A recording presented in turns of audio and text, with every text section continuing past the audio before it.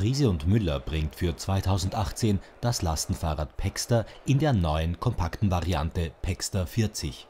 Das bedeutet 40 cm Ladelänge und ein Gewicht von unter 30 Kilogramm. Dementsprechend agil soll das Fahrverhalten sein. Die verschiedenen Aufbauoptionen ermöglichen unterschiedlichste Einsatzmuster. Die Kindersitzposition ist mit Blickrichtung Fahrer ausgerichtet gegen Aufpreis gibt es das Dual Battery Akkusystem für doppelte Reichweite.